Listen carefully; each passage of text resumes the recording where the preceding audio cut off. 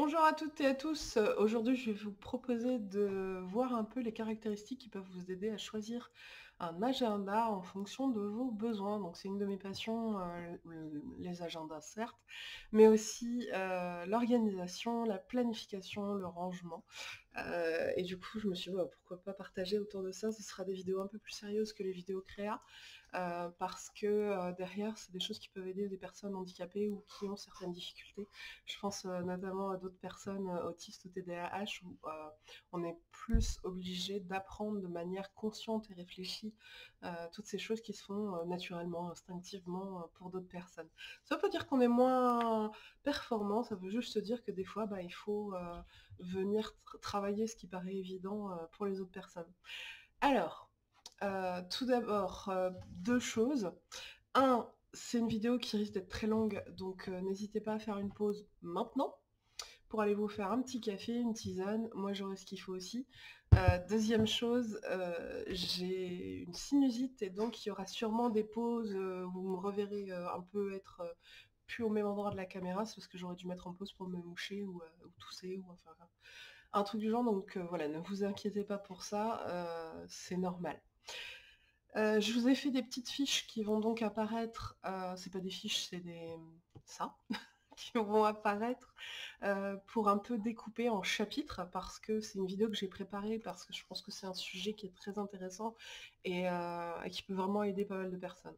Donc la, cette toute première partie, c'est le support. Quel support? Alors, il y a euh, déjà la question du numérique ou du papier.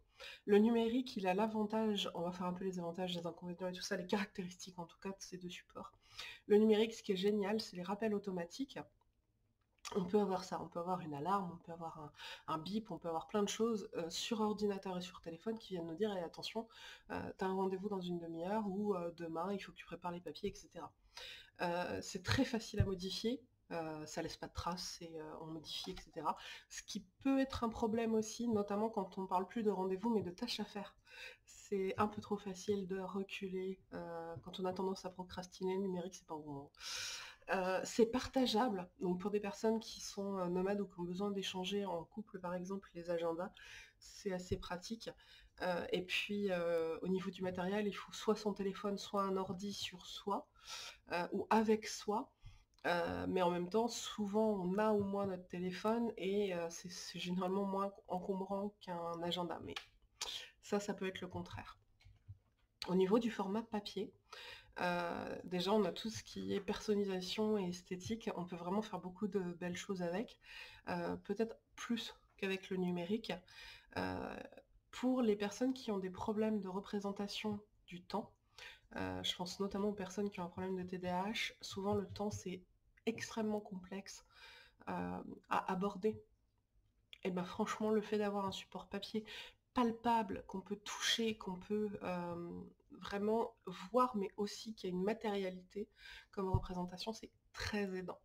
Euh, à ce titre-là, euh, je conseillerais de démarrer quand on n'a pas l'habitude ou qu'on a des problèmes d'organisation, de plutôt démarrer sur du papier si on veut apprendre à s'organiser.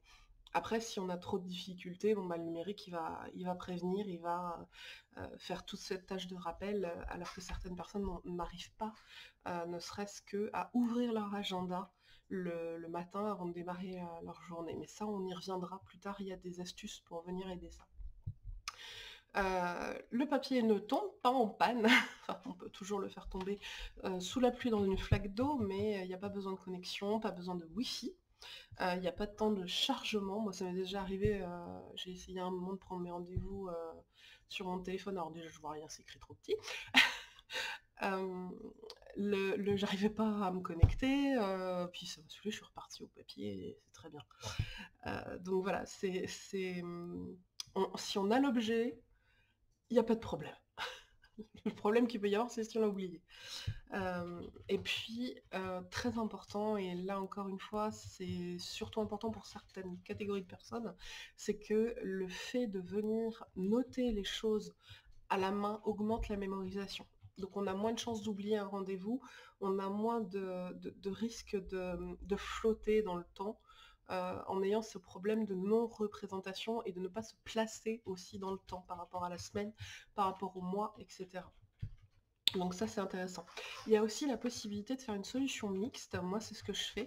C'est-à-dire que euh, tous les rendez-vous qui vont impliquer euh, que je ne sois pas chez moi, qu'il faille partir avant, je vais les dupliquer sur ordinateur. Aussi, mon mari va être prévenu, puisque c'est lui qui m'emmène quasiment à tous mes rendez-vous. Donc il faut qu'il sache euh, qu'il faut sortir la voiture, parfois il faut sortir le fauteuil roulant, il faut des choses comme ça, donc euh, on peut pas se dire ah putain j'ai rendez-vous dans 5 minutes, je me casse. Ah, bah non, ça marche pas, il doit prendre une demi-journée, on doit poser des jours, on doit, s'arranger avec tout ça. Donc là on voit justement un des intérêts du numérique euh, en termes de partage, en termes d'organisation, en termes de ça nous prévient largement avant, etc. et puis ça me permet d'avoir un rappel au cas où je ne regarde pas mon agenda, ce qui n'arrive quasiment jamais. Voilà. Bah, c'est arrivé pendant, mon petit Covid là. Il y a eu 10 jours, je sais pas où ils sont passés. Mais en dehors de ça, normalement, c'est pas mon truc. J'aime bien euh, tout regarder tous les jours, checker. Mais ça peut arriver. Euh, donc, euh, moi, j'utilise une solution mixte, c'est essentiellement le papier, mais pour des rendez-vous où je dois un minimum me préparer, ou alors il y a un risque que... Voilà, il faut, il faut démarrer avant, où c'est à l'extérieur, pour moi, la notion rendez-vous interne, euh, intérieur euh, à l'appartement et rendez-vous extérieur ont une très très grande importance euh, puisque je dois prévoir un temps de préparation physique qui est non négligeable. mais ça, je pense que je vous ferai une seconde vidéo sur vraiment le temps, l'organisation temporelle. Là, on est vraiment sur le support et le matériel de choisir un agenda. Alors, moi, je suis pas du tout spécialisée dans les agendas numériques, c'est pas ma passion. J'utilise le petit add-on de Google, ça me va très bien. si vous voulez spécifiquement, parce que après ce qu'on a vu comme avantage et inconvénient, vous dites bah pour moi le numérique convient mieux, vous pouvez arrêter là, sauf s'il y a d'autres choses qui vous intéressent. je connaîtrais pas, j'aurais pas des bonnes marques et pas forcément les questions pertinentes à vous poser. Euh, par contre, si vous êtes plutôt sur le papier, la vidéo va énormément continuer sur euh, les supports papier, il y en a énormément.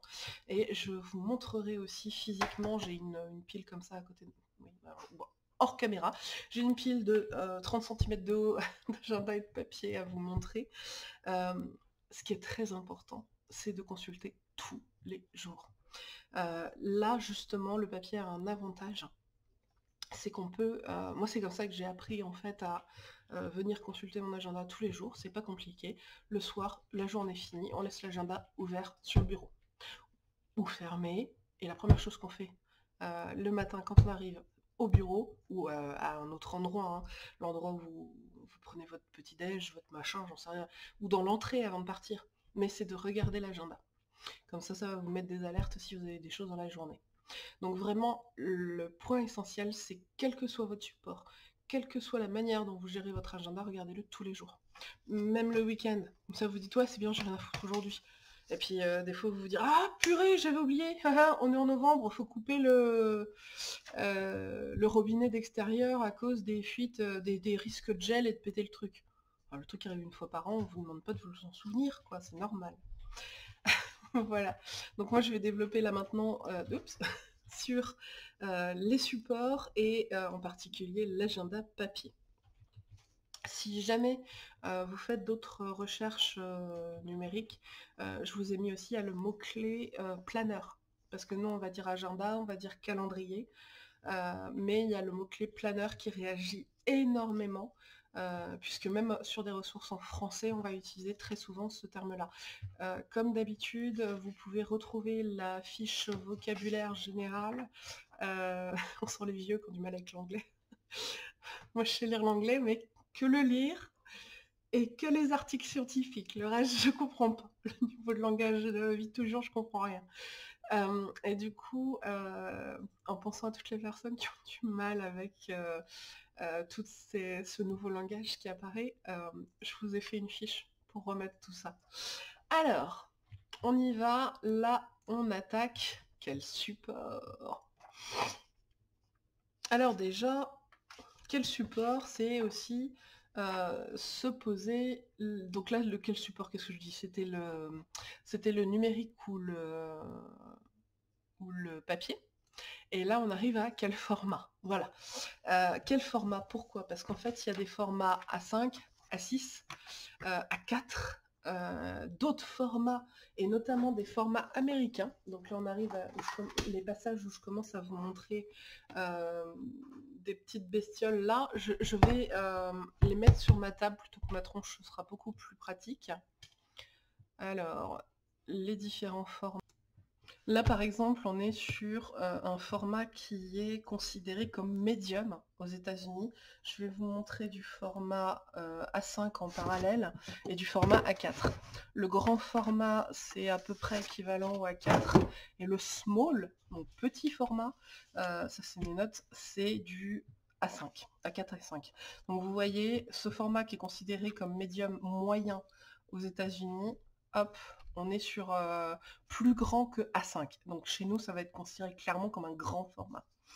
Et quand on... Dé... Ça c'est une feuille, euh, je me sers de feuille pour, euh, pour différentes créas. Hop, je vais le mettre dans le sens là, ce sera plus clair. Voilà, vous allez voir la feuille qui déborde, ça c'est du A4. Ici on voit la partie qui dépasse. Donc là, on est clairement sur ce qu'on va France, on va considérer comme un grand format. Les formats A4 euh, c'est pas des formats que je conseille, sauf pour les personnes qui ont une liste de rendez-vous tout au long de la journée à noter, qui notent aussi les tâches à faire au fur et à mesure, qui notent euh, des résumés de réunions. Euh, on est vraiment sur des utilisations très particulières et généralement on va appeler ça un conférencier. C'est des formats qui sont lourds, difficiles à transporter. c'est pour ça que je ne les conseille pas, mais ils ont aussi toute une partie des personnes qui ont besoin de ce type-là. C'est bien pour ça qu'ils existent. Dites-vous que si ça existe, ça doit servir à quelqu'un. Mais pas forcément à vous. Donc voilà, ça peut, mais franchement, c'est quand même euh, des gros gros formats. Euh, je, reviendrai sur euh, les marques que je, vous montre et pourquoi j'ai choisi cela, etc. Ensuite, ça, on doit être sur du format A5. Là, c'est un bullet journal. Hop, format A5. On est même plus petit, tiens. C'est pas un A5. Euh, c'est un petit peu plus petit puisque le A5, voilà, il s'arrêterait euh, comme ça. Je vais vous plier, ce sera plus clair. Euh, mais ça, je vais pas m'en servir pour... voilà. Ça, c'est un format, je me demande si c'est pas du B, B6. Je suis pas sûre. C'est légèrement plus petit ici que du A5. On a aussi Philofax, il me semble que c'est du A5. Et effectivement, je vous mets en dessous pour que vous voyez mieux. Hop, le Philofax là, c'est du A5. Attention, il y a le format personnel. Donc personnel, ça ressemble à du A5, mais c'est plus court ici. Euh, et puis ici, pareil, j'ai un autre type d'agenda. Donc ça, c'est une couverture Philofax, mais à l'intérieur, c'est une, euh, autre marque. Et je vais arriver à une feuille qui représente une semaine quand même. Euh, on est sur du A5. Donc le A5, ça va représenter à peu près ça comme format. Vous voyez une main dessus, j'ai des plutôt grandes mains. Euh, et si je prends euh, un stylo, hop, voilà. Ça représente à peu près cette taille-là. Moi, c'est le format que j'utilise, c'est celui qui est le plus confortable pour moi. Euh, j'écris plutôt petit, mais je note quand même pas mal de choses dedans. C'est pour ça que c'est un format qui me convient bien. les formats a6. Donc A6, ça va correspondre à la moitié d'un A5. Je reprends ma, feuille. Ça va correspondre à ça. Euh, c'est beaucoup plus transportable. Ça peut rentrer dans certaines poches de jeans. Euh, mais euh, on peut noter des choses. C'est souvent un format daily. Donc je reviendrai après sur les définitions journaliers. On a une feuille un jour. à voir voilà, donc réfléchissez au format qui vous convient euh, le mieux. Faites attention, les formats américains ne sont pas tout à fait les mêmes que les formats euh, français, euh, européens. Là, c'est encore un autre type de format. On est sur très long, puisque la longueur, c'est du A4, je crois. Non, c'est plus petit que du A4. Mais c'est plus grand que du A5, c'est très pratique. C'est encore un format américain encore, euh, qui est ni l'un ni l'autre. Et par contre, dans la partie euh, là, on a un espace qui est euh, très vertical. Moi, je sais que j'ai du mal avec ça parce qu'il faut que l'épaule gère cette amplitude et euh, avec les anneaux, souvent on va buter. Après, on va voir, je vais vous expliquer pourquoi ces, trucs-là ont vraiment un gros intérêt. On bute beaucoup moins euh, grâce au système disc bound. Je vous redéfinirai ça tout à l'heure. que sur des anneaux, mais plus que à plat. Donc voilà pour un peu toutes ces notions de format. C'est à vous de sentir ce qui vous conviendra. Ensuite, on va passer à quel papier? Alors, pourquoi c'est important? Déjà, ça dépend. Si vous utilisez un crayon de papier, il n'y aura aucun problème. on s'en fout complètement. vous prenez votre porte-mine, vous écrivez, je vais vous le faire. Hop, test je l'appuie un peu plus sur le deuxième et beaucoup sur le troisième. En fonction de si vous êtes une brute ou pas. Ça, c'est du papier imprimante, donc c'est du papier qui n'est pas de grande qualité. J'allume la lumière. Euh, là, j'ai écrit test. Dans quel sens? On voit rien avec les reflets. Si. voilà. J'ai écrit test plusieurs fois, léger, moyen, fort. Et on va regarder de l'autre côté. On voit rien, il n'y a aucun souci, ça passe sans problème. Ça, c'est du papier imprimante, encore une fois. Hein. Ensuite, je vais prendre un euh, stylo gel. Alors, c'est... J'utilise que des extra fins parce que j'écris très petit. On est sur du 0,38. Donc c'est encore inférieur au 0,5. Pour les personnes qui euh, utilisent du classique, les porte-mines, c'est du 0,5 ou du 0,7 la plupart du temps. Euh, la force joue pas des masses. Donc j'écris test test avec ça. Et là, à l'envers, on commence à le voir c'est un peu ces trucs-là. C'est ce qu'on appelle le ghosting. Là, il y en a très peu. C'est pas un problème encore. Moi, je déteste le ghosting, donc euh, j'y suis assez sensible et je suis embêtante avec ça, donc euh, je, veux pas qu'il y en ait. Ça me perturbe de voir ça de l'autre côté de la feuille. Là, c'est un stylo plume. Je vais montrer différentes couleurs. Il y a bleu, mais le bleu, c'est un bleu normal euh, et tout. Le vert est léger et le abricot qui arrive là est très léger très fin. Euh, là, j'ai écrit très rapidement pour test. Je vais réécrire un peu plus longuement parce que souvent on n'écrit pas à toute vitesse. Euh, et du coup, ça change le, débit. Là, j'ai écrit lentement, plus lentement. Hop.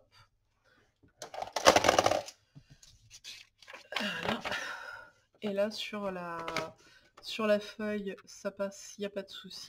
Je me suis pas trompé d'endroit, non, c'est bon on, voit un peu les, marques de stylo à travers, mais c'est très léger et là il n'y a, pas, pas de problème. Si vous écrivez avec des, feutres, celui-là c'est un fin donc ça ne le fera pas, mais euh, si vous utilisez euh, euh, des feutres un peu plus conséquents, des marqueurs, pas des marqueurs à tableau mais plutôt des surligneurs, c'est là que ça risque de poser problème. Donc là, c'est un stylo comme ça. Et puis je vais mettre quelques coups. Euh. Alors ceux-là, je les ai choisis exprès pour pas qu'ils transpercent. Parce que c'est des frictions et en fait, ils sont, euh, je trouve, plus... Euh, ils traversent moins, plus doux, moins chargés en, en pigments. si jamais vous êtes intéressé par des surligneurs qui sont assez soft comme ça, assez doux, euh, vous pouvez chercher, c'est aussi beaucoup appelé les surligneurs pour Bible, parce que euh, le papier Bible est extrêmement fin et si ça traverse, ben, voilà, c'est. Euh, il y a des versions, c'est carrément une sorte de, craie, mais qui ne... Je sais pas, je sais pas forcément vous l'expliquer, ce type-là, moi j'aime pas du tout. et souvent, je, quand je dois surligner, j'utilise écran de couleur. Voilà, et donc là on a le, la, transparence. Ça se voit pas énormément parce que euh, j'ai pas pu vous mettre, euh, il y a peu de luminosité en fait, et je peux pas vous mettre la lumière qui vient euh, d'en dessous. Je vais voir avec mon téléphone si je peux vous faire une lumière qui vient d'en dessous, ce sera quand même beaucoup plus clair. Voilà, le ghosting c'est ça. Le fantôme. Et on voit que, hop là, ici il n'y a quasiment rien. C'était le crayon de papier. Là, c'est énorme, bah, c'est normal, c'est un surligneur euh, et pas les, frictions qui sont plus doux. Voilà. Euh, là, j'ai mis la lampe en dessous, donc ça se voit énormément en utilisation normale. On ne fait pas ça, euh, mais il y a quand même souvent une espèce de transparence qui apparaît et qui peut gêner. Donc voilà pour euh, cette idée de ghosting euh, autour du papier. Si vous utilisez aussi un stylo plume, il peut y avoir un problème de bleeding, mais là j'ai pas forcément le matériel qu'il faut pour vous montrer le bleeding, donc c'est un saignement. Donc c'est l'encre, vous allez poser votre truc et votre pointe, et ça va faire donc ça peut être très joli en aquarelle, mais alors pour une écriture c'est nul. Je vais, voir, si je peux le faire, mais là je, je pense pas. Je pense pas forcément. On pose la pointe et en fait ça va venir saigner autour, se diffuser. Non, ça marchera pas. Ce, papier-là n'est pas un papier qui, saigne, qui, pose problème au niveau building. Donc le papier imprimante, euh, c'est du 80 grammes par mètre carré. Je vais vous donner quelques chiffres, c'est quand même euh, assez intéressant. Donc vous avez vu, si vous n'êtes pas complètement maniaque du anti-ghosting et tout ça, euh, le papier imprimante à 80 vous satisfera et c'est très bien. notamment si vous utilisez crayon de papier ou porte-mine.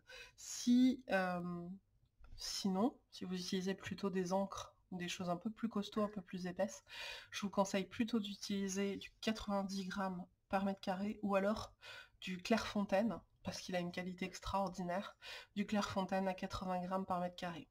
Euh, il y a des agendas qui proposent des 60 euh, ou 50, je crois même le Bonichi. Moi, ça passe pas. Il y a des gens qui aiment ça, il y a des gens qui gèrent très bien avec ça. Euh, voyez aussi si le poids de l'agenda, c'est assez important de se rendre compte du poids de l'agenda. Souvent c'est marqué, mais pas toujours si vous avez, si vous commandez en ligne par exemple. Euh, par rapport à vos épaules, par rapport à vos mains, par rapport à la fatigue, etc. Donc voilà, voyez le rapport poids, épaisseur, qualité. Et puis, si jamais vous, vous décorez vraiment votre agenda, dans ce cas-là, il, faut, il faut passer à du 120 grammes minimum. Euh, par exemple, moi je fais des gribouilles, je fais des... Bon, alors là c'est des stickers surtout. Mais euh, des fois il y a des coups de... Je fais? Pas moyen de trouver une page avec du machin. Bon là c'est surtout des stickers, mais les stickers aussi, hein, parfois on les voit par transparence et tout ça. Euh, je vous remontrerai mon agenda à la fin pour montrer comment je m'en sers moi. c'est pas une, référence, mais ça vous donne des indications de ce qui est possible. sur celui-là, celui-là, je l'ai utilisé aussi. Ah Hop là. Voilà, sur celui-là, je sais que j'ai... Voilà, par exemple, ça c'était mes, mes, envies et tout ça. Il y a du, marqueur et si c'est pas assez solide, euh, ça aussi je vous en parlerai, c'est le principe des blocs temps mais dans une autre vidéo. Euh, et voilà, par exemple, j'avais mis à chaque fois euh, mes, mes temps, mes zones avec un surligneur autour pour bien délimiter. Si vous faites ça euh, et que vous utilisez du 80, vous allez avoir des problèmes euh, au niveau du ghosting, ça va gêner. Donc si vous êtes plutôt agenda créatif, euh, besoin de couleurs, besoin d'avoir un vrai travail manuel, c'est ça, autour de, du temps qui s'écoule dans votre semaine, dans ce cas-là, moi je vous conseille vraiment de de partir sur du 120. Le problème c'est que le 120, on n'en trouve quasiment pas en France. Euh, c'est très difficile ou alors il faut partir sur un, type euh, belette. Je vous en reparlerai aussi. Alors, le prochain morceau, je l'ai appelé les représentations temporelles. Pourquoi? Parce que euh, déjà, il y a combien de temps on va mettre par, par page? Euh, est-ce que vous prenez, alors j'en ai pas des exemples comme ça, est-ce que euh, vous avez le juste le peut-être attendez, peut-être juste euh, l'annuel, donc une représentation de l'année euh, il y a des personnes qui utilisent ça pour leur rendez-vous et, qui, fonctionnent très très très bien avec. Hein. Mais généralement, ça implique que euh, vous n'avez que maximum un rendez-vous par jour à noter et que vos tâches à faire, vous les notez sur un carnet à côté. C'est très bien, ça prend absolument pas de place. C'est euh, des petits, des petits trucs comme ça, et puis on écrit au crayon de papier dans un coin, et puis c'est bon. Parfait, ça marche très bien, mais il faut vraiment pas avoir grand chose à noter. Ensuite, on a le, les mensuels. Alors, sachant que ceux qui fonctionnent par euh, hebdomadaire ont généralement une page mensuelle. Moi, j'en ai pas mis parce que j'aime pas, je m'en fous. Voilà. Là, on va prendre le mois d'août. Je l'avais pas. J'ai changé d'agenda avant août. Euh, Là, c'est parce qu'en fait, il n'y a pas, c'est le mois suivant, euh, on s'arrête au 31 août. Mais voilà, une vue mensuelle, c'est ça. Sur deux pages le mois. Ou sur euh, une page si c'est juste euh, des cartonnettes que vous changez au fur et à mesure des mois, mais bon. ou un agenda qui ne fait que le mensuel. Mais pareil, c'est pas ce qu'on trouve le plus souvent. Ça vous permet de noter tous vos rendez-vous du mois et puis les grands événements. Donc en un, en un coup d'œil, moi, je l'utilise pas parce que ça ne, me parle pas. Mais en un coup d'œil, euh, vous voyez tout votre mois. Par exemple, si vous avez un anniversaire le 20, il faudra peut-être y penser un petit peu avant pour euh, euh, est-ce qu'il faut ramener quelque chose, est-ce qu'on y va, est-ce qu'il y a des cadeaux à acheter, est-ce qu'il y a quelque chose à préparer, etc. S'il y a les vacances à tel moment, il faut faire la valise. Voilà, c'est vraiment intéressant à ce niveau-là. moi, je l'utilise pas parce que comme ça ne me parle pas, je préfère retourner en arrière sur les semaines pour noter en fait deux semaines avant qu'il faut vérifier qu'on a tout ce qu'il faut pour l'événement plus tard. Mais c'est un, mode de fonctionnement. C'est pas celui que je conseillerais. Les vues mensuelles, pour la plupart des gens, elles sont très très intéressantes. Donc ça peut être un calendrier qui fait uniquement le mensuel. Ensuite, on a l'hebdomadaire. L'hebdomadaire, c'est ça. Il y en a plusieurs sortes. Hein. Mais c'est une semaine sur deux pages, généralement. Après, il y, a la théorie et la pratique, c'est jamais tout à fait pareil. Et dans ce cas-là, on a deux possibilités.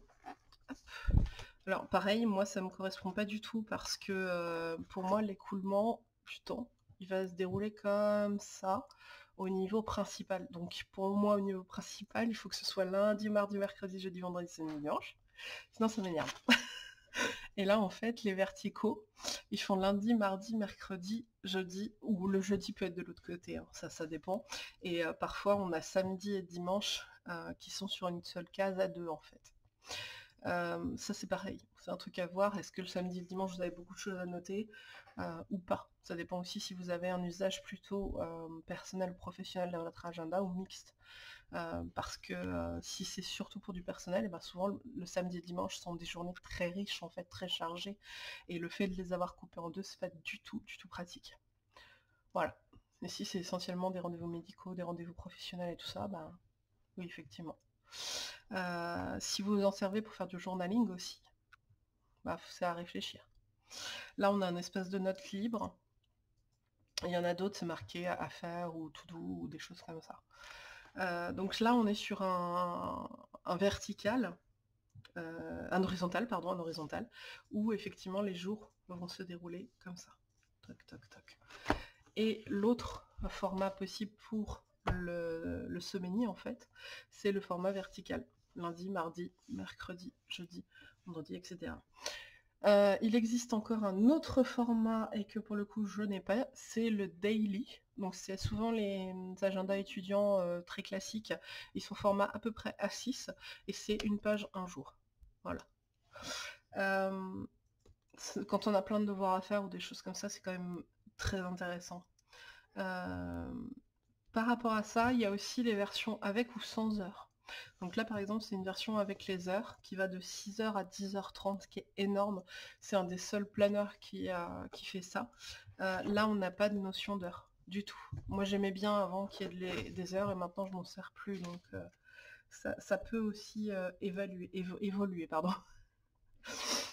Une autre division du temps, c'est académique.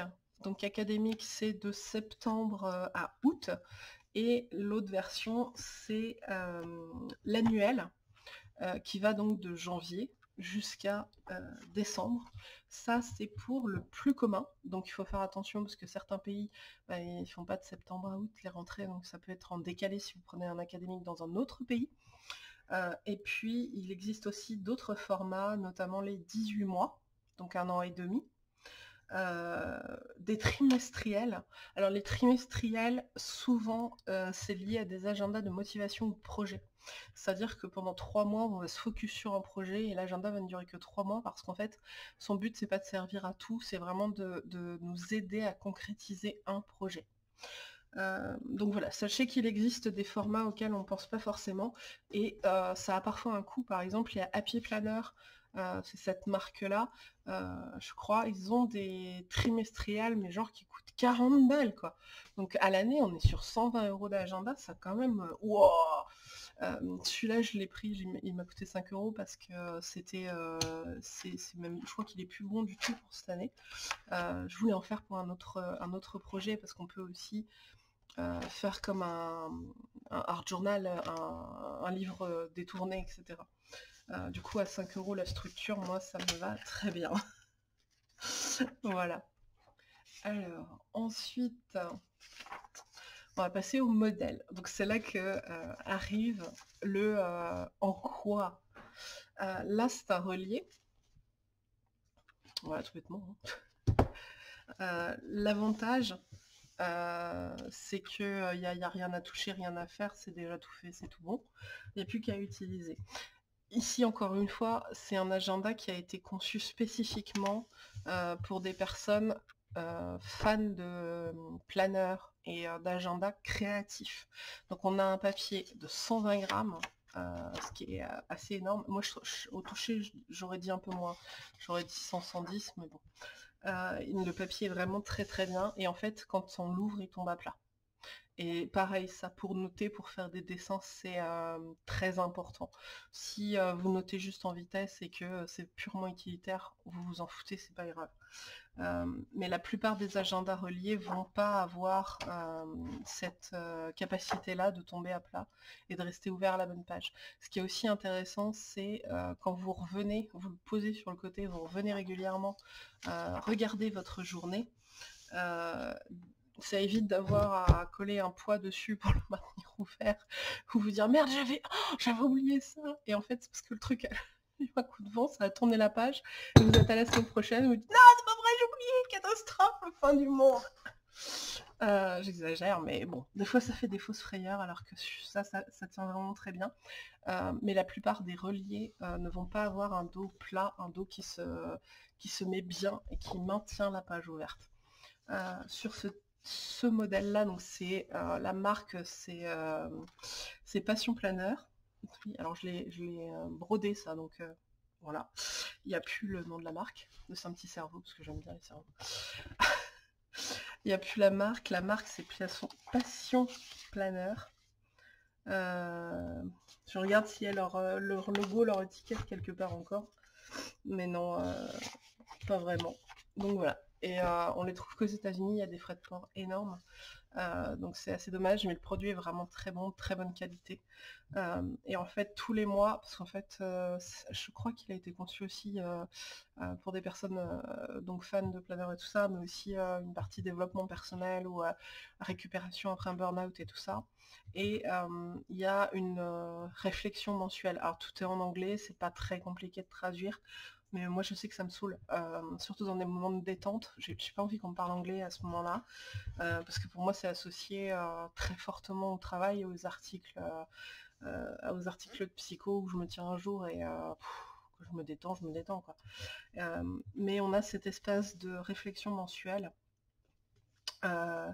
euh, qui vient poser des questions. Voilà, qu'est-ce qui était mémorable euh, dans votre euh, mois Qu'est-ce qui était bien Qu'est-ce que vous avez envie d'améliorer À la fin, il y a des espaces de pages. Donc là, c'est dot, donc c'est des, petits points.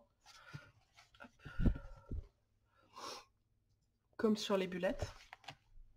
Et puis, il y a des pages blanches aussi avant. On peut coller par exemple des, fiches. Là, c'était les, livres que j'avais lus jusqu'en juin exemple, avec une partie ici, une partie ici, euh, pour répartir. Et euh, on peut avoir des objectifs, on peut coller des feuilles. Euh, là, c'était le suivi mensuel de l'humeur, par exemple. Il y a plein de choses qu'on peut mettre et faire dans ces pages de fin ou juste prendre des notes.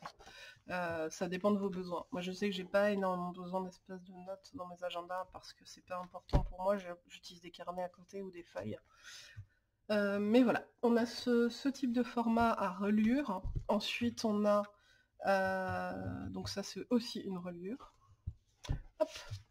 Alors, ça, c'est la marque euh, Philofax, mais sinon, c'est... Pourquoi je vous ai pas mis ça en plus grand, moi? Ce serait quand même vachement mieux. Ah bah oui Au chapitre 5. donc ça, c'est... Ce qui est intéressant, c'est qu'il y a plein d'espaces de rangement ici. Ça, c'est moi qui me l'ai mis en plus. Il y en avait un ici, mais j'aime pas que mon stylo euh, soit devant. Je préfère qu'il soit à l'arrière. Euh, enfin bref, vous pouvez rajouter des, choses, coller des trucs. Euh, c'est 6 anneaux. Alors faites attention, c'est 3 x 2. Mais en fait, il y a d'autres modèles où c'est 6 anneaux, mais répartis régulièrement. Hop. Donc, alors là, il n'y a plus rien, ça c'est sûr. Ça, c'est l'agenda Waouh. Regarde si je peux trouver comment il est écrit. Euh, c'est un agenda qui est euh, imprimé et fait en Belgique, qui est très très bien.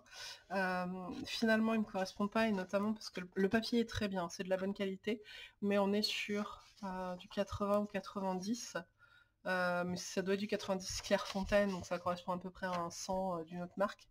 Mais pour moi, ça suffisait pas. Et puis, il y avait un problème, c'est qu'il y avait des couleurs en fait par mois. Et euh, ça marche pas très bien chez moi. Euh, je préfère un jour une couleur. Donc vous voyez, c'est vraiment euh, rien à...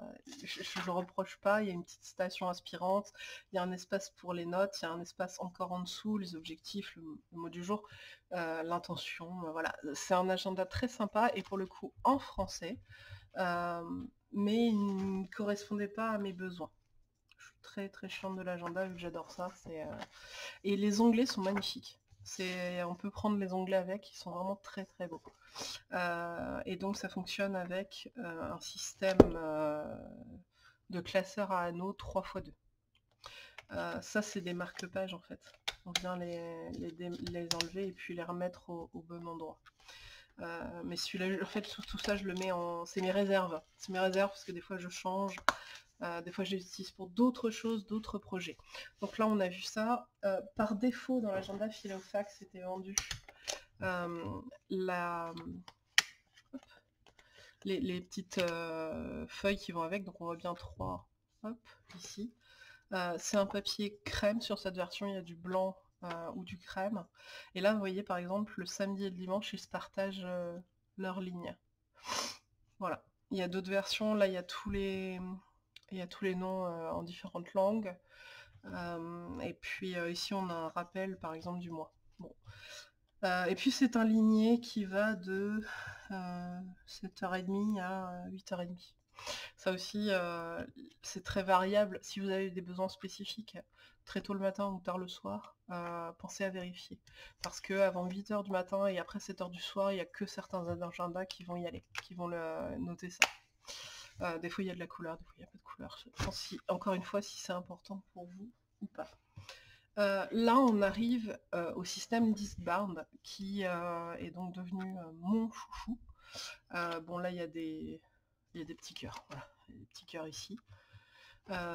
c'est rose gold. Ça à limite on s'en fout.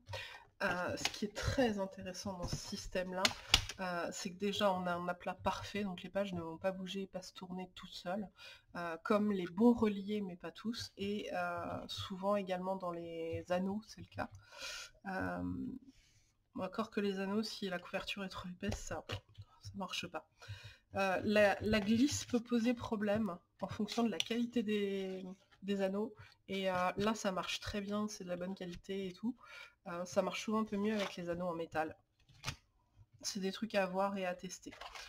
Euh, que dire d'autre? Moi, c'est ce que j'utilise actuellement. Je suis passée... Donc, on va aller là. Euh, on va aller même un peu plus loin. Voilà. Euh, hop. pas grand chose à faire la, semaine là, pour l'instant. Donc ça, c'est des anneaux en métal. Ils sont pas très lourds. la glisse est parfaite. Et voilà, une fois que j'ouvre, si je dis bah, j'ouvre à cette page-là, ça, ça, va rester, ça, va ne, ça ne va plus bouger du tout. Donc moi je trouve ça vraiment, euh, vraiment génial. Se pose aussi la question des onglets. Donc par exemple, euh, là on est sur euh, deux fois le même type. Ici on a des onglets qui sont vraiment une page à part entière. C'est une possibilité, ça peut être l'occasion aussi de faire un récapitulatif mensuel. Euh, moi, je sais que euh, je trouve ça joli, j'aime bien, mais je suis toujours un peu perturbée par le côté à cheval. C'est-à-dire qu'on a le 1er août, et ben en fait il est dans juillet. C'est un peu court, mais ça me perturbe. Donc du coup, je préfère les onglets qu'on vient placer soi-même au moment où ça change. Là, je vous ai juste laissé ça de côté. Les onglets, on peut les fabriquer soi-même. Alors, imprimer, vous n'êtes pas obligé de mettre de la couleur, hein, mais juste prévoir les, les morceaux, les tailles. On va, en sortir un. C'est ce que j'ai prévu pour euh, euh, l'année 2023 puisqu'on est en décembre. Euh, j'ai pris une très grosse perfo pour faire ça, mais c'était pour avoir un peu l'aspect esthétique, hein, sinon des rectangles ça suffit. D'ailleurs je vais vous en montrer un rectangle, ce sera beaucoup plus simple. j'ai prévu suffisamment de marge de couleur parce que je suis pas foutu de viser correctement. Voilà. Mais l'idée, ça va être, pensez bien à avoir, pas centré le pas centré le, moi, il faut qu'il soit sur une des faces et sur la face orientée dans le sens que vous voulez. Donc là, je vous parlerai de ces ciseaux-là dans une autre vidéo. Euh, pourquoi j'ai pris les ciseaux alors que je suis un foutu de découper le ciseau Je ne sais pas. C'est juste pour vous montrer. Mais pour faire un onglet, on va faire ça grosso modo. Hop, on plie un petit peu au-dessus du texte. Voilà. Alors attention, en fonction de l'encre, là c'est pas de la c'est pas de la laser, c'est l'encre j'ai d'encre de la maison. Euh, et du coup, si on fait frotte-frotte pour appuyer, souvent ça va venir euh, faire baver l'encre. Euh, ça c'est un plioir, pour plier, ça aide. et puis, ça. On va mettre un peu de colle. Alors là, moi je redécouperais hein, si je l'utilisais parce que ça sert à rien que ça déborde de tout ça. Et puis là par exemple on va venir euh, le positionner où on veut. On fait déborder le mois de mars. On met de la colle des deux côtés et clac. On maintient un petit peu et c'est bon. On a un onglet. On peut faire des onglets personnalisés euh, avec les mois, euh, affaires, perso, notes, trucs, bidule, machin en fonction de nos besoins. Donc voilà pour les onglets, soit en feuille, soit euh, en, euh, en petit onglet à part. Alors, donc là, je vous ai présenté quelques modèles avec l'agenda, euh, passion planeur, le Happy Planner. le... Je vous ai pas parlé de la perfo en forme de T. Je suis en train de regarder mes notes discrètement. Alors ça c'est une perforatrice en forme de T, j'en ai deux. J'ai celle-là qui est énorme, mais le problème c'est qu'en fait elle s'est un peu... Euh, euh, elle est abîmée en fait, je l'ai reçue très légèrement abîmée et avec l'utilisation, euh, elle s'abîme de plus en plus. Donc c'est un peu embêtant. Et puis celle-ci. Alors je vais vous montrer l'utilisation. Non, je vous montrerai dans une autre vidéo parce que là la vidéo on est déjà à 45 minutes presque, c'est juste énorme. Mais euh, si vous cherchez les noms clés, c'est perforatrice en forme de T, comme un T la lettre, ou en forme de champignon. Pourquoi? Parce que c'est une forme de champignon. Voilà tout de suite. Ah, ok, alors ça j'aurais dû le vider par exemple. Euh, je vais vous en garder quelques-uns et je vais vous montrer. On va prendre un jaune, ce sera plus visible. Ah, m'énerve, elle fait du bourrage papier. Euh, donc là, on voit qu'il y a du jaune qui est un peu coincé dedans et vous voyez que c'est une petite forme de champignon. D'où le nom de perforatrice champignon ou thé. Voilà, donc euh, ça c'est le problème avec ma perfo, euh, celle-là, je, pense qu'il y a une... Elle doit être un peu euh, faussée au départ et du coup elle n'éjecte plus les papiers, je débourrage papier, ça déchire. mais j'ai pas envie de réinvestir tout de suite là-dedans. donc bah, on est embêté puis on, voilà, on verra bien. en dépannage, mais plus qu'en dépannage, parce que ça ce sont des perforatrices. alors c'est indiqué maximum 3 feuilles euh, dessus, quand on parle en feuille, c'est les 80 d'imprimante. C'est marqué ici en fait euh, max 3. Voilà, vous voyez petit dessin de feuille. Ça veut dire maximum 3 feuilles euh, et c'est du 80. moi la mienne elle prend elle prend son, son petit sa feuille 80, sa feuille 120, mais après elle m'envoie chier. Ça marche plus. Alors, là c'était mes petites notes sur ce que je voulais vous dire sur le modèle. Je vais vous montrer celle-ci. elle me permet de faire des couvertures en plastique et c'est toujours hop, une hantée. Donc si par exemple là je voulais me mettre là, hop, le truc là c'est des repères. Je vous montrerai un jour comment vous servir de ça. Et en fait on vient d'avoir, hop, parfait. Cette perforation, ça c'était les perforations par défaut, c'est un, des, trucs d'un cahier action. Euh, c'est un peu moins rond, mais au final voilà, ça, marche très très bien. Si je veux le passer dedans, voilà, on est impeccable. Et voilà. Alors, donc le patient planner, l'agenda Waouh, et puis euh, mon agenda à moi. Euh, alors celui-là, c'est moi qui l'ai conçu. J'en suis super contente, forcément, je l'ai conçu tout bien adapté, tout bien réfléchi à mes besoins.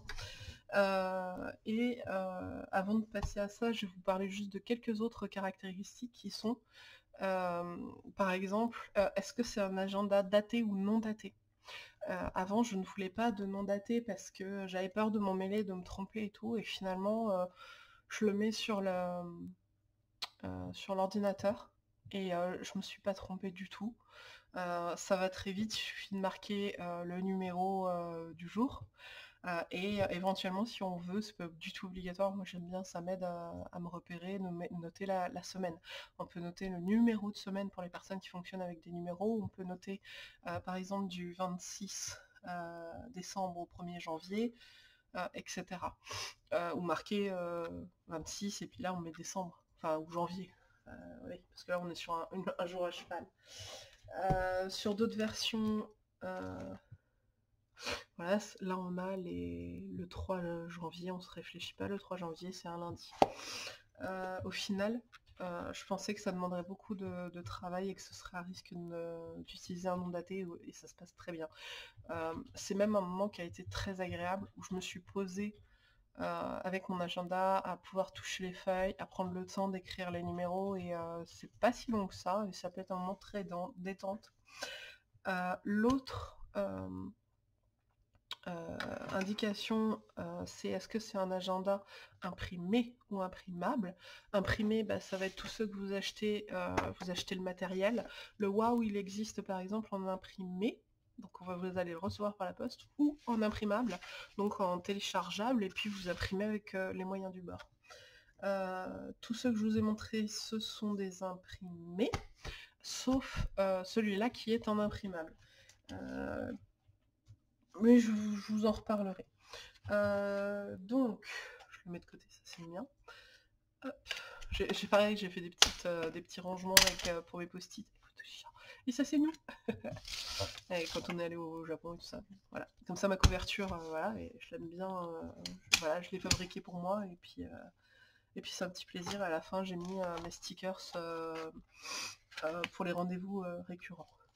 Notamment le kiné, c'est deux fois par semaine, ça me saoule de l'écrire. Je parle stickers. Ça me suffit amplement.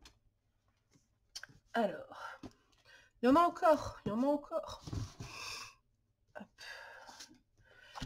Ça va dépendre aussi euh, si vous pratiquez du journaling ou pas, ou si vous vous servez aussi de votre agenda pour... Euh... Ah, ça va être de la pause. Voilà.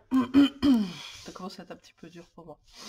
Euh, un des avantages du non daté, euh, et en particulier en imprimable, surtout euh, le combo imprimable et non daté, c'est que s'il y a un problème déjà, il suffit de réimprimer. vous pouvez le réutiliser autant d'années que vous voulez et ce que j'aime bien, c'est que si vous avez une pratique plus de journaling, euh, journal intime ou euh, documenter votre journée, etc. Je, traduis euh, autant, autant, que je peux, mais des fois ça correspond pas tout à fait parce que journal intime va avoir une connotation très particulière en français que journaling n'a pas, qui peut être beaucoup plus exposé, neutre et beaucoup moins intime, secret et personnel. Mais voilà, ça peut documenter votre journée, mettre des photos ou un sticker qui représente votre humeur, euh, c'est aussi très intéressant euh, pour les personnes qui souffrent de troubles de l'humeur. qui se remettent d'une dépression, d'un burn-out ou de choses comme ça, pour le suivi des humeurs, et pour les femmes parfois aussi le suivi des humeurs en fonction du cycle menstruel. c'est comme ça que des fois on se dit ah bah tiens c'est oh, marrant à chaque fois j'ai mes règles juste avant oh, il y a une grosse descente en point de vue moral ah bah on va peut-être faire quelque chose euh, donc soit euh, effectivement consulter euh, gynéco-médecin traitant pour voir s'il y a une aide hormonale qui peut être apportée, soit aussi tout simplement, bah, quand on voit que cette période-là arrive, on évite les trucs chiants, on les fait à un autre moment du cycle, on favorise le cocooning, on, s'achète une, plaquette de chocolat, une bougie ou je sais pas quoi pour surmonter le moral et, et avoir un, moment un peu plus doux et un peu plus tranquille qui va correspondre à notre humeur. Euh, donc voilà, il y, a énormément de pratiques possibles. Un agenda ne sert pas que à noter des rendez-vous ou des choses à faire. Euh, et c'est vraiment très très important de l'adapter euh, aux besoins. Je suis en train de me rendre compte que je suis appuyée sur deux semaines qui commencent un, une semaine qui commence un jeudi et qui repart un jeudi. Donc voilà pour la notion d'autres caractéristiques. Alors, ensuite, une petite note sur ce que je vous conseille, moi, d'intégrer à votre agenda. Euh, donc, en fait, une... Euh, ouais. Allez, hop, je repars là, vous inquiétez pas, c'est pas dans tous les sens. Une zone de gratitude. Donc moi je l'ai mis ici, euh, dans cette version-là, les bons moments de la semaine. On peut l'appeler gratitude, ça peut être tous les jours.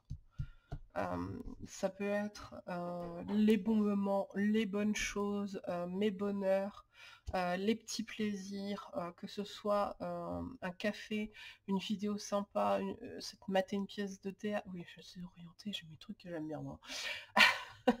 un bon petit plat, un moment de partage, un resto, je m'en fous. un câlin de chat, oui ça c'est bien. un moment de création, un, un, éclat de rire, qu'importe. Mais notez ces moments-là, ça pousse notre cerveau à venir les réexaminer, à venir les revoir. Et en fait, c'est très très très utile pour améliorer notre humeur. Donc encore une fois, si tout va bien et qu'il n'y a aucun problème dans votre vie, et eh ben, très bien, profitez, amusez-vous. Euh, enjoy. Mais si jamais vous avez des difficultés, des troubles de l'humeur, un problème de dépression, euh, d'autres choses qui font que euh, des fois c'est particulièrement lourd et difficile, c'est vraiment un exercice tout simple, tout con à intégrer dans sa routine euh, journalière si possible, mais au minimum de la semaine. Après, là, c'est marqué mon moment de la semaine, par exemple, mais on peut noter un petit truc tous les jours, quoi. Euh, sous forme de phrases complètes, de paragraphes, d'explications, ou juste un mot-clé. Et c'est pas grave si on retrouve souvent les mêmes choses.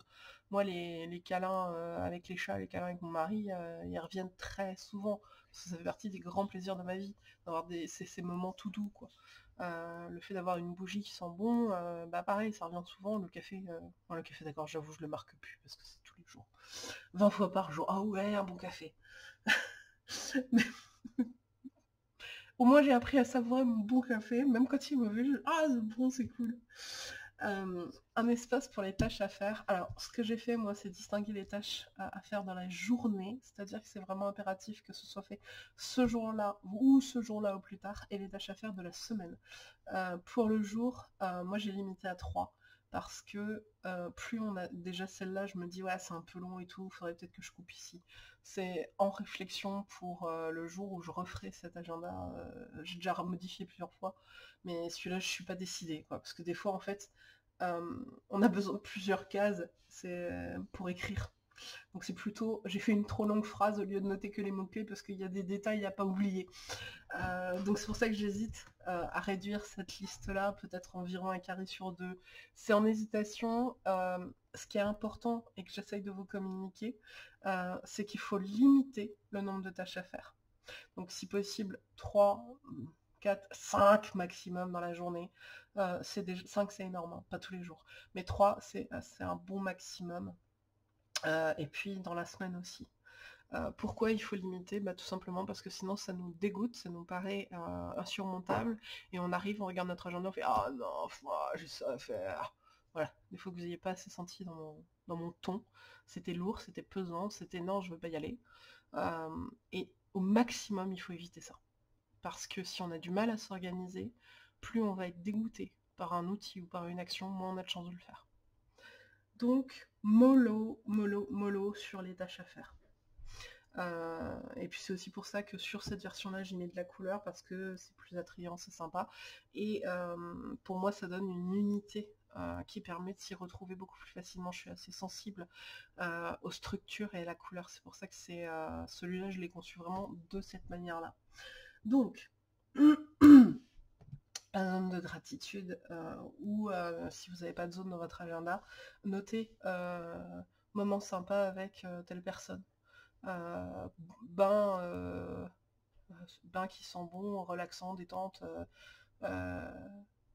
lever de soleil, rayon magnifique, enfin j'en sais rien. Mais notez un truc qui vous rappelle toutes ces belles choses, tous ces beaux moments de, la journée ou de la semaine.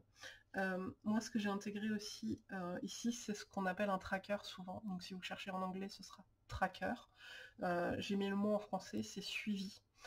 c'est une zone de suivi, pareil, j'en ai mis 4. moi, souvent, il y en a 2, 3. Euh, je déconseille d'utiliser toujours les quatre parce que ça fait beaucoup. Et en fait, c'est pour les choses que l'on souhaite modifier, les habitudes que l'on souhaite prendre, euh, tout ce qu'on doit checker tous les jours. Alors ça peut être vraiment des choses à checker, genre euh, prendre ses médocs, c'est bon, pas bon, prendre sa pilule, j'en sais rien.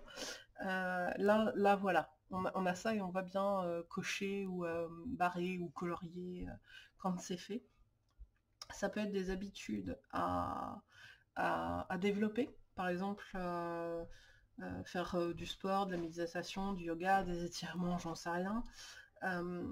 Faire une exposition aussi, ça peut, une, exposition, je pense aux personnes qui souffrent de phobie.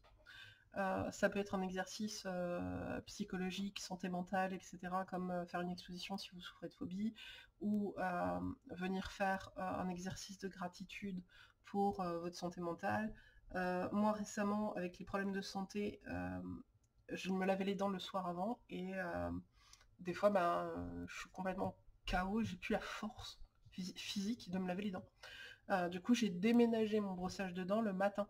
Et le problème, c'est qu'il faut que mon cerveau, ça, fait, ça fait quand même, j'ai commencé quand Cet été, donc juillet, août, septembre, octobre, novembre, c'est cinq mois et on, est, on commence seulement à intégrer l'habitude. Je, suis assez lente là-dessus, je suis pas, très performante en termes d'habitude. Euh, mais du coup, voilà, ça peut être prendre une habitude ou, modifier une habitude. Euh, voilà, c'est un suivi. Euh, mais éviter d'en faire trop en même temps parce que c'est fatigant et décourageant. C'est aussi pour ça que je l'ai limité volontairement à 4. Et 4, on est vraiment dans le cas de figure où c'est prendre tel médoc, prendre tel médoc, et puis faire un, un, ou deux changements, mais mollo, hein mollo. Plus on s'en met sur le dos, moins c'est sympa pour soi. Donc ne vous en demandez pas trop, ne vous découragez pas, ça c'est hyper important. Euh, ensuite, donc là je vais vous présenter, alors euh, voilà, bah oui, c'est moi qui les ai fait, donc je vous les présente, il n'y a pas de raison. Euh, je vous ai présenté d'autres marques. Il y en a deux, alors je terminerai par celui-là parce que c'est mon préféré dont je vous parle depuis tout à l'heure. Celui-là, qui est en, vraiment euh, gris, en nuance de gris, blanc, noir.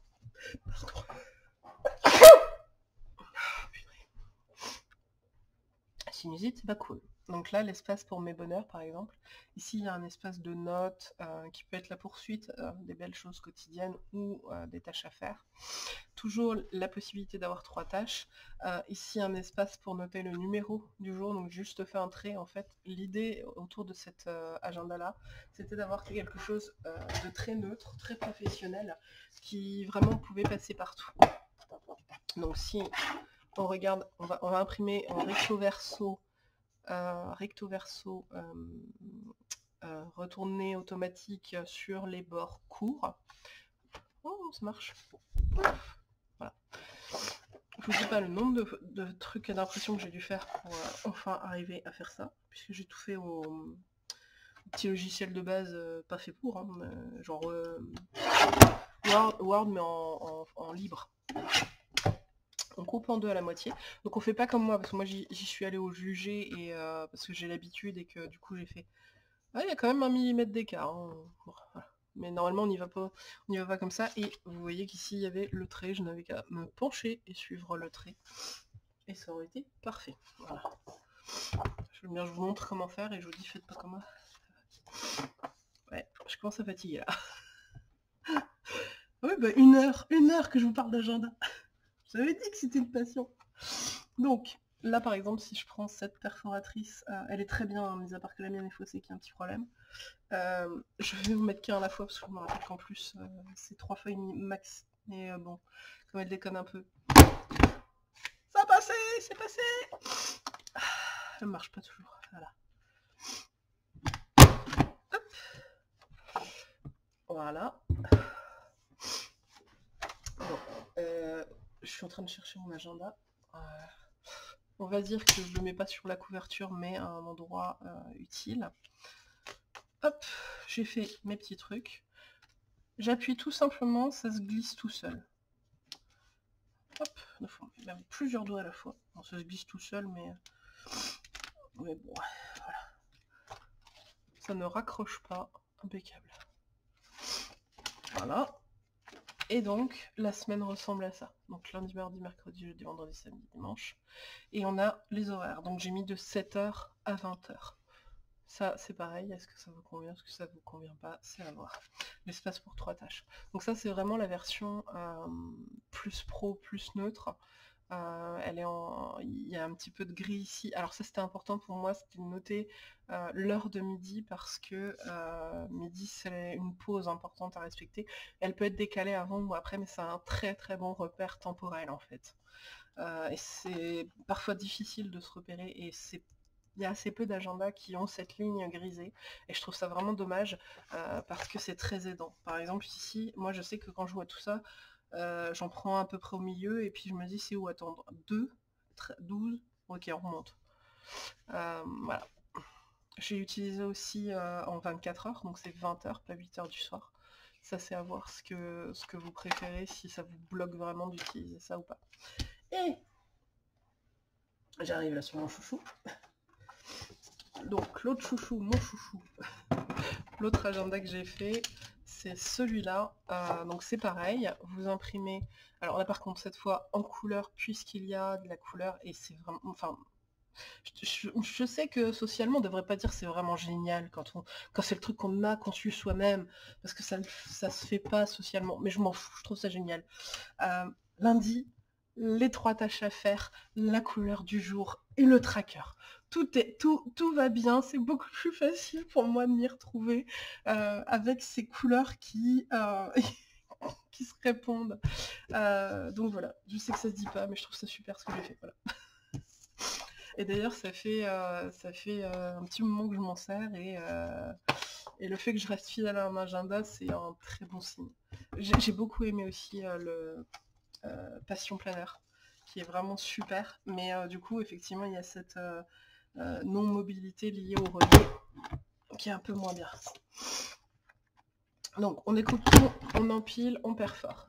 Alors ça, c'est si vous prenez le côté disbound, bien entendu, vous pouvez tout à fait utiliser une perforatrice autre et l'utiliser avec un filofax, puisque c'est de l'imprimable. Vous faites ce que vous voulez. vous pouvez utiliser les perfos comme ça de souci. Euh, et on va mettre ça là. Alors, hop. Ensuite, on met, on applique, c'est fait, c'est mis en place. L'autre feuille, hop, hop, hop. Et on n'a plus qu'à faire ça. Si jamais vous avez un gros décalage comme ça, Là, je suis en dehors hein, du, truc. Mais sinon, bah, vous vous foutez à peu près euh, au milieu où ça vous arrange et c'est bon. Et sinon, vous mettez tout d'un côté pour écrire. C'est très pratique. Euh, les disbound, ça a vraiment été un gros kiff. Euh, j'aime bien le côté classeur et tout ça, mais c'est vrai que le fait que ça, ça il n'y a pas la couverture avec laquelle on s'embête et qu'on puisse euh, vraiment bouger euh, aussi indépendamment cette partie-là, je, trouve ça, vraiment très bien fait et euh, très très bien conçu. Quoi. Donc vraiment très bien. Donc ça c'est mes deux agendas, je suis en train de rechercher aussi ma petite feuille là. donc ah oui, ce que je vous ai pas forcément dit si, c'est qu'ils sont imprimables non datés. Il y a la version euh, Je suis en train de, de bouger ça. Euh, hop. Où est-ce que je l'ai mise La version euh, sans couleur, ici. Ah, fait plus la mise au point. Je crois que ma cam est aussi crevée que moi. Là. Ah bah elle fait plus ma... Je, je vais augmenter un petit peu le zoom. Bon, bah je sais pas. Bon bah c'est pas flou euh, dans la réalité. Euh, on a la version euh, en gris avec les heures qui fait un petit peu plus, professionnel, qui passe plus facilement tout simplement. Et puis la version en couleur qui aide beaucoup à se repérer dans la semaine. Moi c'est vraiment une, grande aide pour moi d'avoir, et surtout, parce que j'aime bien les couleurs, mais surtout pas la semaine d'une même couleur. Parce que du coup c'est juste joli, mais ça m'aide pas à me repérer en fait. Et euh, ça, c'est vraiment conçu pour, euh, pour aider à se repérer. Euh, et puis, ils sont donc imprimables. on peut, donc en fait, on, achète, on télécharge le fichier. Et ce que j'avais noté aussi, c'est que pour une année complète, il faudra 26 feuilles en imprimant recto verso. Alors moi ce que j'ai mis ici c'est du papier blanc. J'aime bien, ça passe partout, ça réagit à tout. Ah bah ça y est, elle veut bien me faire le, la mise au point. Et c'est du papier blanc 120 euh, grammes. Donc il est euh, très agréable euh, à toucher, à manipuler. Et au final, vous voyez là, je l'ai commencé quand d'ailleurs je vous dis vous voyez, puis en fait vous voyez pas. Je l'ai commencé en juillet, début juillet, et, on, et là jusqu'à février à peu près, janvier. Oui, il a, fin janvier, il a 1er février. Donc on n'a pas tout à fait un an et il n'est pas, il est pas lourd en fait. Il est pas lourd du tout, il est tout à fait manipulable. Euh, gros kiff quoi. Pour cette, euh, cette idée-là, cette version-là. Euh, si jamais vous avez la possibilité, alors nous à la maison on a une imprimante jet d'encre classique, mais au boulot mon mari il a une laser, il a demandé la permission à son patron d'imprimer avec la laser. donc on amène notre papier, mais c'est l'encre du boulot quoi. Et le gros intérêt c'est que la laser, ça va supporter un peu mieux l'eau. Euh, donc si jamais vous faites de l'aquarelle ou des choses comme ça dessus, voilà. Mais en dehors de ça, si vous passez un petit moment à appuyer en été et tout ça, euh, ça va pas bouger du tout avec la transpiration. Euh, parce que moi je sais que des fois j'oublie, je m'appuie dessus et bah oui bah au bout d'une demi-heure en plein en plein cagnard, oui, oui bah c'est flouté les lignes. Hein. Donc voilà. Et l'avantage, encore une fois, c'est qu'ils sont euh, non datés, donc ça permet de, faire des pauses, de, les réutiliser euh, plus tard, etc. Alors, voilà, c'est fini pour mes agendas. Mais là, je vais euh, vous proposer de vous montrer comment utiliser un agenda à section. Parce que souvent, ce qu'on nous apprend, ça va être les agendas à heure ou alors à rien mis dedans. Vous voyez que ça s'enlève bien hein? Voilà. Alors, je vais prendre cela je vais vous montrer euh, différentes manières. Déjà, euh, l'agenda avec les heures, je voulais quand même vous dire que euh, c'est clairement, c'est plus facile à suivre, c'est très pratique. C'est idéal pour débuter, mais aussi pour les personnes qui euh, vraiment notent plusieurs rendez-vous dans la journée. Avant de passer à un agenda, euh, euh, alors déjà maintenant je, ne travaille plus parce que j'ai eu des problèmes de santé qui ont diminué mes réserves et du coup j'ai fait un burn-out. Pour l'instant je ne travaille plus, je reprendrai peut-être un jour. Mais avant d'arrêter, j'étais passée à numérique pour le pro. C'est-à-dire que euh, les gens pouvaient prendre rendez-vous euh, sur mon site directement. Mon Dieu merci, c'est génial pour les personnes phobiques et anxieuses sociales. pour moi aussi. Euh, et quand c'était en visio, il y avait le lien Zoom qui se créait tout seul. Ah mon Dieu, tellement moins de boulot, c'est bien ça. un rappel par mail, parce qu'en fait aussi ça, avec l'évolution du temps, on voit que les gens respectent vachement moins leur rendez-vous. Et le problème, bah, c'est que pour nous, bah, on se prépare, on prépare en avance, on bosse, et puis il n'y a personne qui se pointe, et on gagne rien. Ok, donc c'est bien. Moi j'ai bossé, j'ai attendu, et, et bah il n'y a rien, c'est pas cool. du coup ça aussi c'était pesant. Et Et le fait de passer en, numérique, il y a eu des gros avantages par rapport au poste de lapin. il y avait moins de lapins.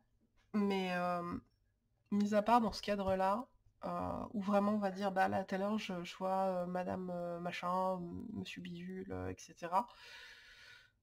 Ou alors quand on a des cours qui changent beaucoup, qu'on n'a pas un modèle général, c'est pas forcément ce qu'il y a de plus intéressant, mais il peut être très intéressant à certaines périodes de la vie ou dans certains types de professions. Donc voilà, c'était un petit peu pour ça, pour vous dire ça. pour les agendas à section, c'est une liberté folle, géniale. pour moi, c'est vraiment un truc à tester, à voir si ça vous correspond. Et il y, a vraiment beaucoup de manières de, venir utiliser un agenda à section. Euh, c'est hyper adaptable en fait. Euh, il y a des agendas à trois sections. Euh, j'en ai pas sous la main qui font ça. Pas tous les agendas du monde. Mais moi j'ai choisi donc de le faire avec deux sections. Il y en a souvent qui ont deux ou trois sections. Et je vais vous montrer quelques manières de venir faire. Alors montrer pas vraiment, hein, je ne vais pas épiloguer pendant trois heures, je vous referai une autre euh, vidéo vraiment sur euh, l'organisation euh, dans l'agenda. Là, c'était vraiment pour vous présenter les agendas, les intérêts et tout ça. Alors, première possibilité toute simple, c'est de venir mettre le pro quelque part et le perso de l'autre. Voilà, pro, perso. Ou le contraire, hein, perso, pro. Hein. Ensuite, il y a euh, la possibilité de noter tous les rendez-vous dans une section et toutes les tâches à faire dans une autre. Alors, ici, c'est... Euh, j'avais marqué les tâches à faire hein, déjà. Et ici, ça fait encore des tâches à faire, mais je pense pas forcément au même. Euh, je pense par exemple aux personnes qui ont des devoirs, des rendus, des travaux, des choses comme ça, où on il faut parfois plus détailler ou ouais l'organisation va être vraiment différente. Là c'est peut-être plus des tâches toutes bêtes genre euh, acheter du lait euh, euh, où, ça se coche bien. Là on plus sur des trucs un peu plus flous ou des dossiers ou des choses comme ça. Un truc auquel je viens seulement de penser maintenant qui est particulièrement orienté pour les personnes avec un, un TDAH alors je l'avais pas dit c'est trouble de l'attention euh, donc euh, là avec hyperactivité, mais c'est avec ou sans hyperactivité, et souvent il y a des problèmes de lien au temps. Euh, je viens de penser à une petite étoile qui, a des petits soucis aussi par rapport, c'est un pseudo, hein, par rapport au temps, et ça c'est vraiment intéressant à faire pendant une période pour tester et voir quand on a besoin d'un retour. C'est-à-dire Notez ici ce qui est prévu, c'est-à-dire ce qu'on veut faire dans la journée. Hop, je veux faire ça, je veux faire ça, je veux faire ça. Et ensuite, notez ce qui est fait à la fin, enfin, au fur et à mesure à la fin de la journée. Et ensuite, on va faire une comparaison. Et la comparaison, elle se fait là euh, en disant, bah voilà, ça c'est bon, ça c'est pas bon, j'en sais rien. Mais à la fin, euh, cette comparaison peut noter en dehors sur un autre cahier en disant eh, mais je me suis rendu compte que telle tâche elle prenait beaucoup plus de temps ou alors je me suis rendu compte que quand je me laisse absorber par telle chose euh, j'en décolle pas avant telle heure euh, des choses comme ça. Donc ça c'est prévu fait c'est particulièrement intéressant pour les personnes avec un TDAH euh, pas forcément toujours, hein. c'est pas vitam aeternam ça. C'est le, il y a d'autres outils dont je vous parlerai, mais ça c'est le temps de comprendre euh, le problème et de se représenter quel volume euh, temporel il nous faut pour certaines actions. Ce qui est encore une fois, si vous ça marche tout de suite très bien, bah, tant mieux pour vous profiter. Mais si c'est difficile, complexe, ou vous vous plantez régulièrement, genre vous arrivez en retard tout le temps, euh, vous dites, ben non, j'ai eu le temps de prendre ma douche en 5 minutes et de me sécher et de m'habiller. Ben, va peut-être falloir faire ça quelques temps et puis noter combien de temps il vous faut vraiment euh, pour prendre votre douche, vous sécher, vous habiller. Ensuite, un autre exemple, euh, c'est les membres de la famille. alors là, c'est surtout peut-être pour les parents, avec par exemple bah, le couple à un endroit où, où telle personne et puis les enfants les enfants de l'autre côté. Avec les rendez-vous les activités qui emmène qui etc et là on peut aussi avoir un code couleur. Non pas du tout de problème de stylo donc j'en ai assez. Je mets personne X Là, pour le coup, on est plutôt sur enfant. Allez, enfant Y. Voilà. Donc là, on peut avoir aussi euh, tout ce qui est noté dans telle couleur, c'est euh, pour telle personne. Etc. Et puis, euh, ce qui va concerner le couple ou toute la famille.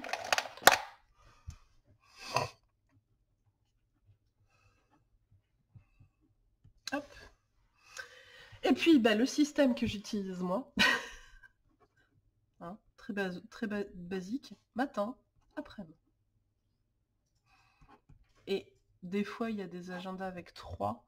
Euh, donc on peut mettre aussi le soir. Mais pour moi, généralement, le soir, déjà, il n'y a rien. Euh, et puis sinon, la plupart du temps, après mes soirs, euh, on, peut les, on peut les mettre ensemble. Donc voilà, ça c'est quelques exemples d'utilisation, de répartition d'un agenda à section. Je vous le répète euh, rapidement. Pro-perso, je le répète à chaque fois que ça peut être dans l'autre sens. Bon, matin après-midi, ce serait pas logique de faire dans l'autre sens. Mais les rendez-vous et euh, les trucs à faire, mais euh, souvent de manière un peu plus développée qu'une liste de tâches. très intéressant pour les personnes TDAH, ce qui, est, ce qui était prévu de faire et ce qui a été fait. Et puis de faire la comparaison à part. Euh, la division, s'il y a plusieurs personnes à gérer, les membres de la famille, les enfants, le couple, tout le monde, une partie, etc., auquel peut s'adjoindre un autre code couleur le matin et l'après-midi. Voilà. Si vous avez d'autres suggestions, bah, n'hésitez pas. Euh, ça peut être aussi, euh, je sais pas moi, à faire pour telle personne et telle personne, ça rejoint un peu un mélange de ça. voilà. Voyez ce qui vous convient. Vous avez aussi la possibilité de rediviser les espaces euh, si besoin. Donc par exemple, hop, je fais, à main levée, hein. mais euh, ça peut être, euh, il y a des personnes qui aiment plutôt le vertical par exemple pour le pro et le perso. Mais là ça me paraît un peu, un peu petit pour écrire. et puis ça peut être aussi comme ça. Là on a un peu plus de place pour écrire. Donc ça peut être après, mais puis, et puis soir s'il y a une soirée ou quelque chose comme ça mais à la limite, euh, qu'importe du moment où vous y retrouvez. Euh, pour les petites sections comme ça, ça peut être aussi euh, de ne pas utiliser des mots, mais des dessins. si par exemple vous voulez noter ici, bah, vraiment la partie agenda, voilà, voilà une autre manière, tiens, trouver en, en vous parlant. Et puis une partie suivi, mais pas de suivi de choses à faire, une partie plutôt suivi psychologique ou humeur. par exemple, bah, aujourd'hui, hop, petit bonhomme content. ça peut être aussi suivi santé physique.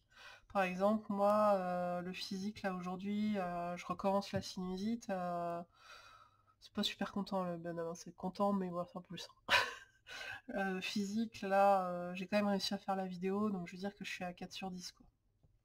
Euh, au niveau douleur, on n'est pas dégueu aujourd'hui. Parce qu'en plus du reste, j'ai un, 7, donc j'ai de la douleur tous les jours. aujourd'hui c'est pas mal, j'ai quand même mal au dos, mais on est qu'à 3 sur 10, donc c'est gérable. et puis j'en sais rien, il y a des gens qui mettent la météo, par exemple, aujourd'hui je fais gris. Je vois comment on dessine ça. Ça peut être un petit nuage. Bon d'accord. Ou une patate, voilà. Patate volante aujourd'hui, nous sommes patate volante. Euh, donc ça peut être l'agenda et puis un suivi physique, euh, je sais pas, ou, euh, vos règles, voilà, R ou pas règle, j'en sais rien. Enfin voilà, tout ce qui va vous concerner et qui peut être intéressant pour améliorer à long terme. et puis voilà, j'ai pas d'idée. autre chose. Bricolez, faites-vous plaisir. Et, euh, voilà, n'hésitez pas à, imprimer quelques pages, euh, là pour le coup en noir et blanc, euh, en, nuance de gris, et à venir tester. Tester ce qui vous convient, quel stylo, sur un papier tout bête hein, de brouillon. juste pour voir ce qui serait le plus pertinent pour vous. Très rapidement, je crois, je n'en sais rien en fait. Je vais vous montrer un petit peu comment j'utilise mon agenda, ça a déjà été fait. Euh, alors, mon agenda il est marqué euh, par mes spécificités, mes goûts mes particularités. C'est pas un modèle, c'est pas comme ça qu'il faut faire.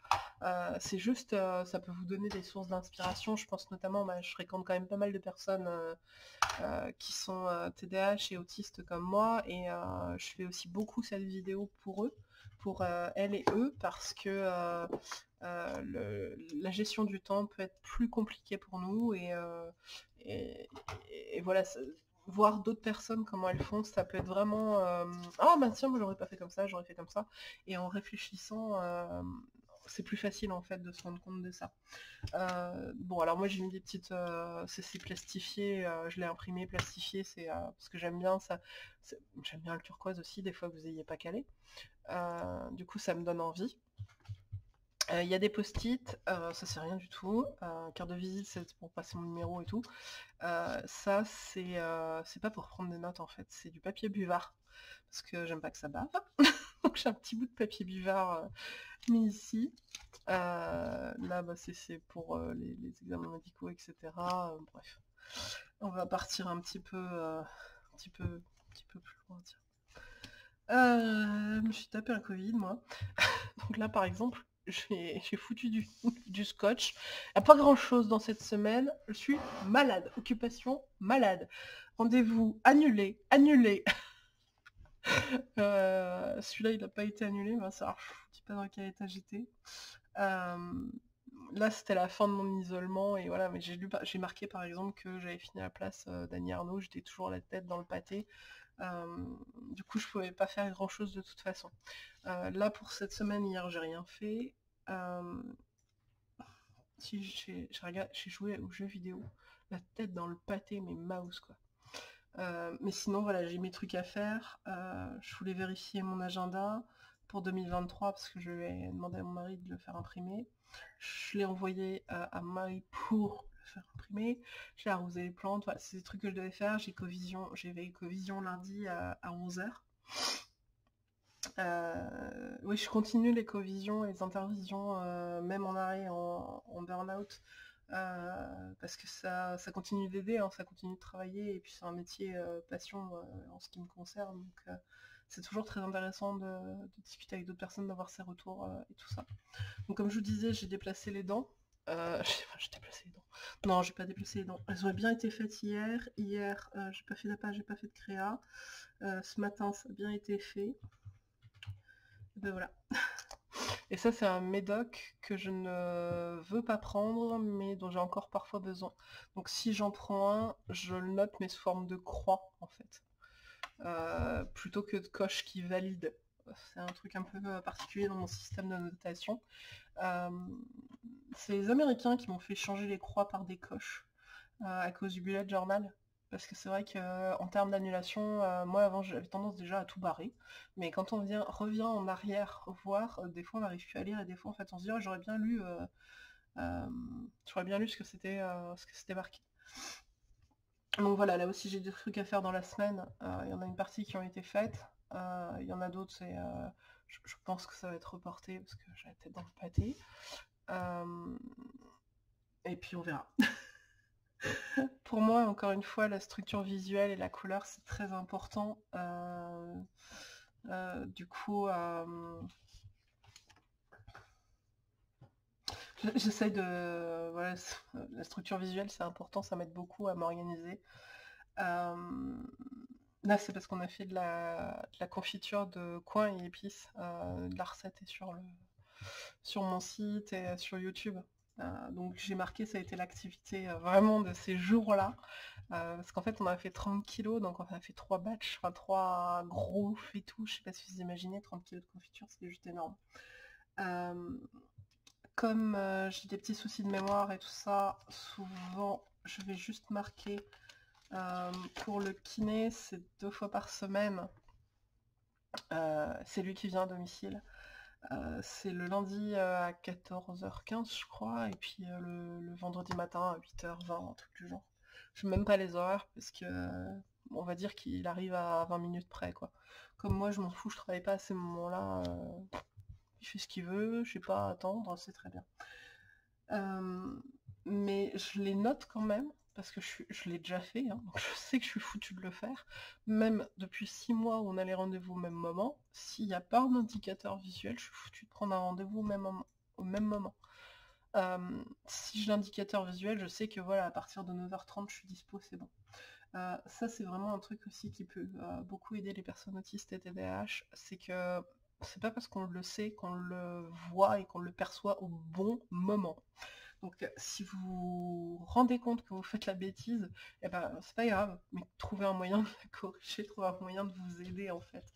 Euh, donc ça c'est vraiment très bien pour moi.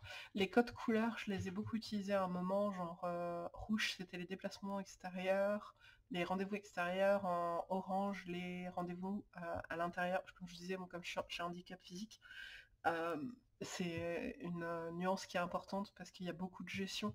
Les rendez-vous extérieurs, quasiment systématiquement, il faut prévoir du temps, il faut prévoir quelqu'un pour m'aider et m'accompagner. donc ça demande beaucoup, c'est chiant, voilà, déjà, beaucoup plus.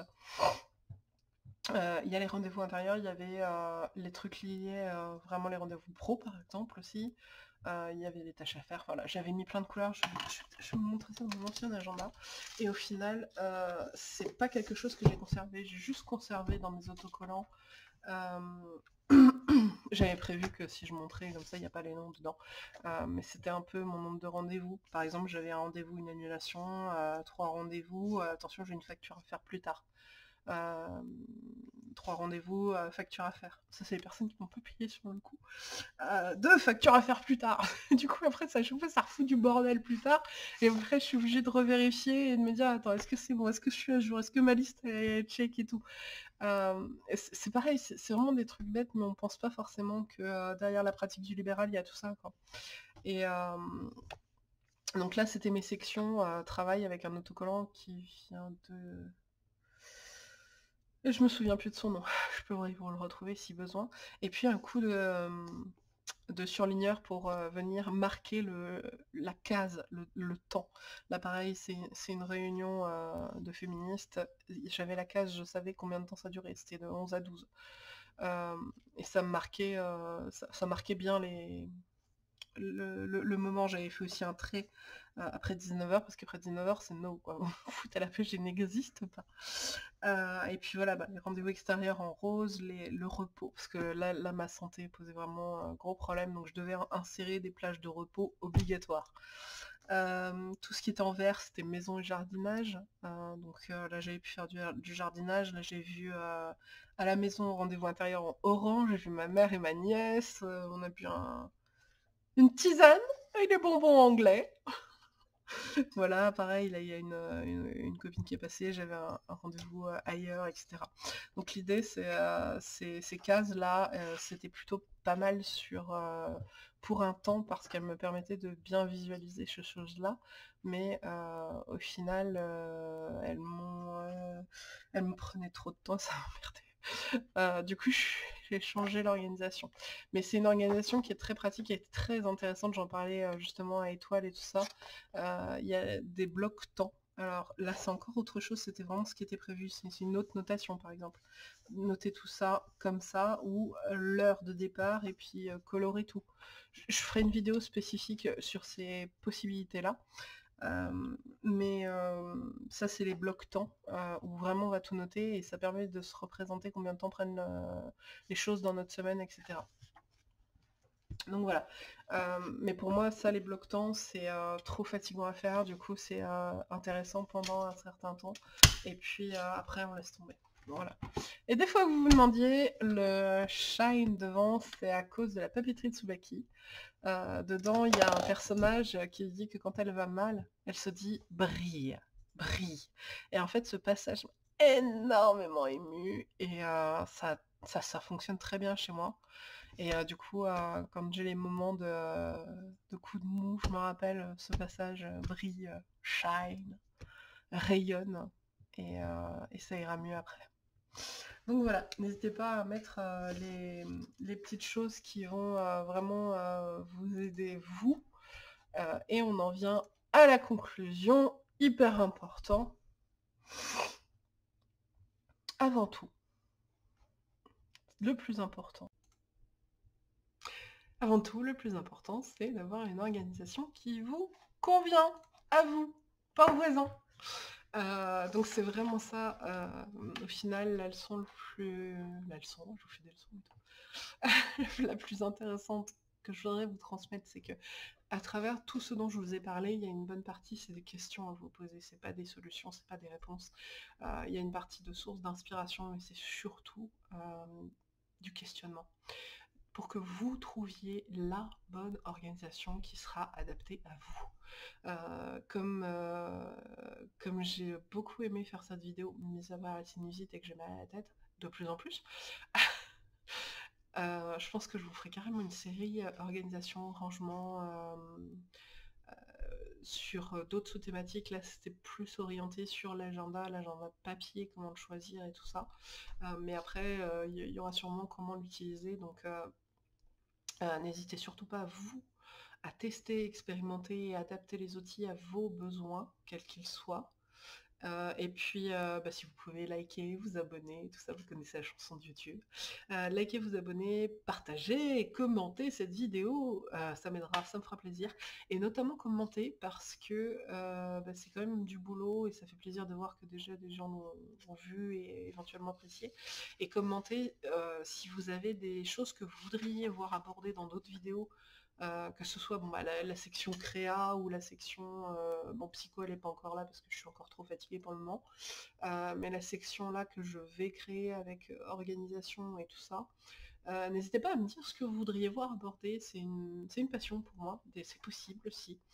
moi, je vous souhaite des beaux moments d'organisation et puis n'oubliez pas qu'ils peuvent aussi être très créatifs. Ça peut être des moments vraiment créatifs de s'organiser, de planifier et tout ça. Voilà. Allez, bye bye. Et puis amusez-vous bien. Salut